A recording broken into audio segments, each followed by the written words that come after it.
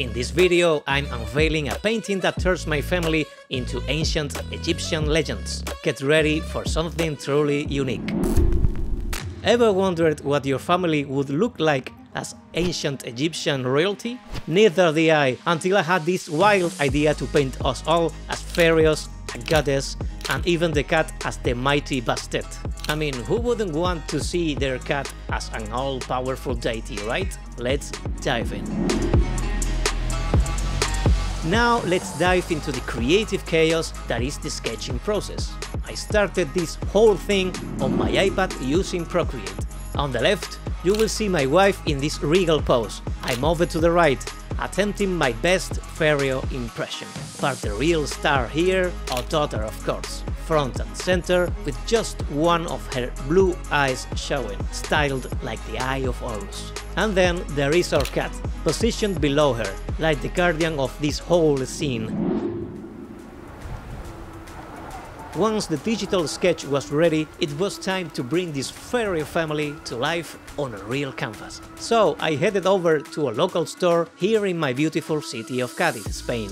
Honestly, it's such a charming place, perfect for a bit of creative inspiration while gathering supplies. At the store, I printed out the design at its full size. Also picked up some tracing paper, new flat brushes, a matte medium, and of course the canvas itself. I started creating the stencil using my light box, super handy, but if you don't have one, no worries, you can totally do this with a window and some good old sunlight.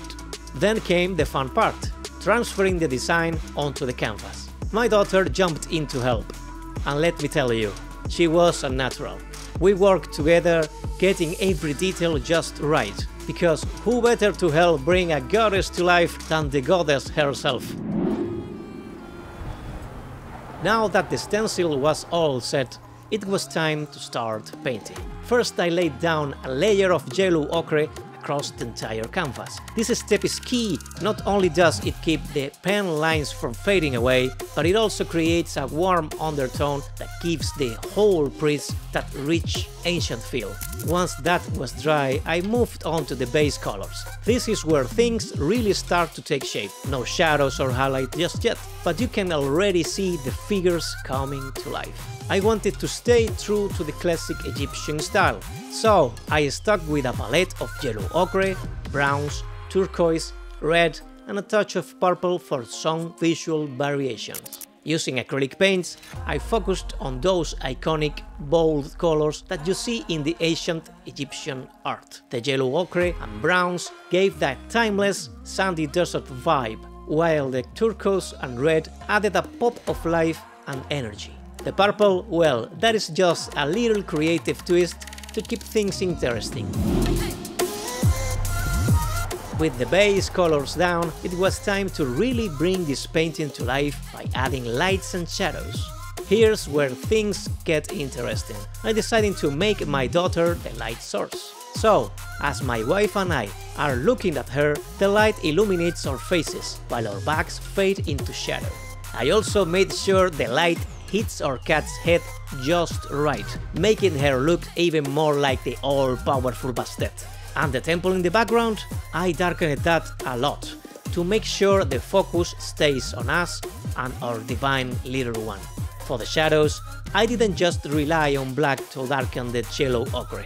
Instead, I used a couple of different browns to add depth and keep things visually interesting. This way, the shadows don't just feel flat, they have texture and warmth, like the ancient Egyptian art that inspired this piece.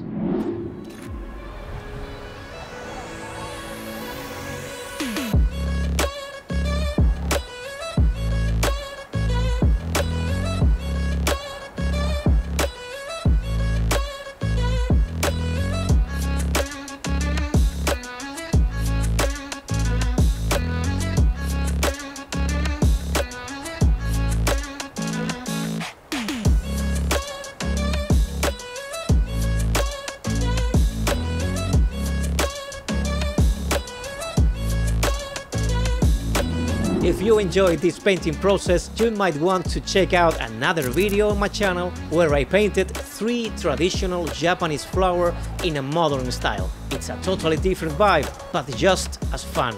And if you like what you see, don't forget to subscribe so you don't miss out on more creative adventures. My name is Daniel Columna, and I will see you very soon. Adiós.